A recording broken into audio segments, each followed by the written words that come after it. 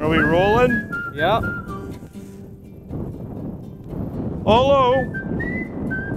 Mark Stutrud here, right outside of Barton, North Dakota, on the Todd Stutrud fa- farm.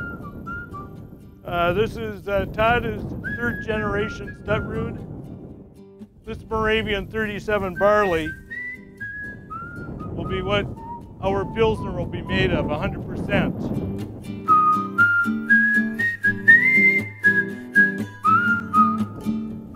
Some people say that um, hops are the soul of beer.